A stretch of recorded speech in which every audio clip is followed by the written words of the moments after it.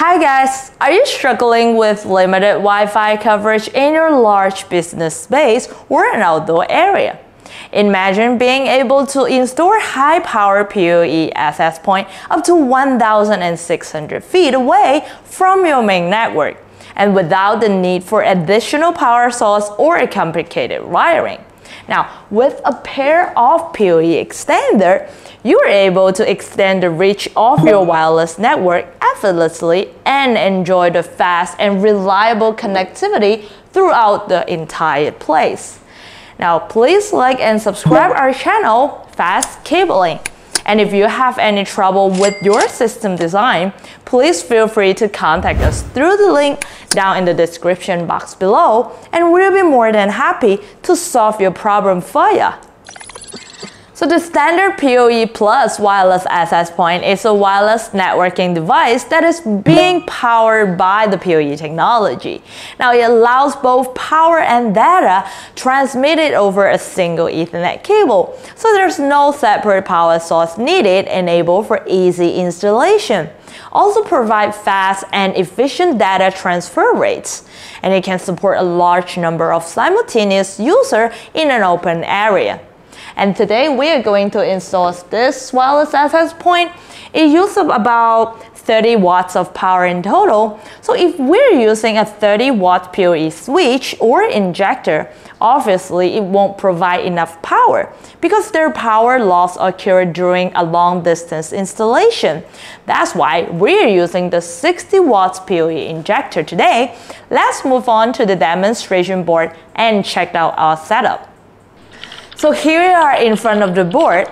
You can see I already have the access point here at the edge and the 60 watts PoE injector is by our main network router.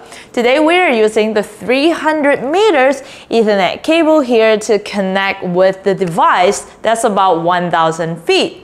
But we all know the PoE has a limitation of 100 meter, that's 328 feet. And it is important to note the maximum distance limitation is affected by the voltage drop, which is the loss of power over the length of Ethernet cable. It will cause the device cannot receive sufficient power. So the further away the device are from the PoE source or the PoE injector, the more the voltage drop and resulting in lower power level at the end of the cable. And that's why we need a PoE extender. A PoE extender can extend the reach of the PoE technology. And it works by receiving the power and data from the PoE switch or the injector through the Ethernet cable and then boosts up the power and retransmit it over the second Ethernet cable to the edge device. So in a most common way, if you add 100 meter, you add a PoE extender. If you add 200 meter, you will add two PoE extender. However, in our case, it is very special because we only need a pair of PoE extender, that's two of them, and provide up to 300 meter.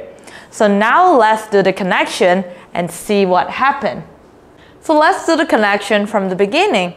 Now remember this is the 60 watts PoE injector and it has power source already built in and already plugged into the power source so you can see the lights is on. And also this is 100% waterproof.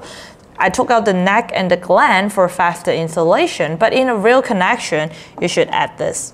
So now I'm going to use a short patch cord here to connect our router with the injector. Now, this is the data port. Make sure you plug this with the main router.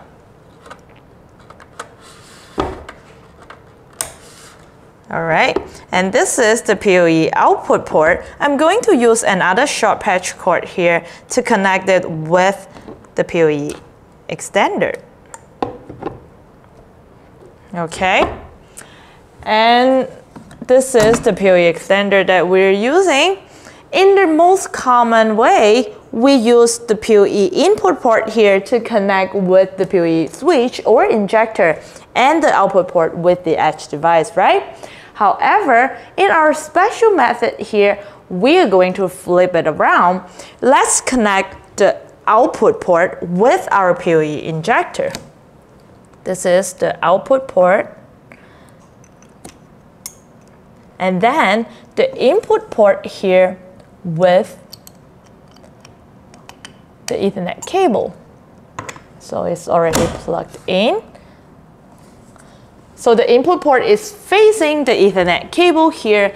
This is the 300 meter Ethernet cable. And let's come over to this side. For this side, we are using the input port to connect with the Ethernet cable. I'm going to plug it in here. And using another short patch cord to connect with our wireless access point. I'm going to plug it in here.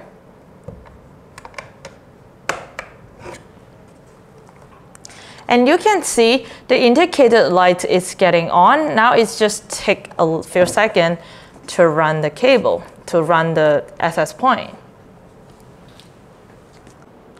So the whole setup is done. Remember the trick? You have to place the PoE extender input port facing the input port. And there's no complicated configuration needed due to the plug and play feature. Also, there's no AC adapter needed anywhere or by the edge device, only a single Ethernet cable. It can provide up to 100 megabit per second fast networking. Also, support 60 watts of PoE plus extension. Now the PoE extender is also IP67 waterproof. You can use a wrench to fasten up the gland and the neck in order to prevent water or dust to get into the cable. And if your installation require a high bandwidth, I strongly recommend you to use the fiber optic cable. Now you can watch the video here on how to use the fiber optic cable to install a wireless access point. And thank you so much for watching us today and I'll see you next time.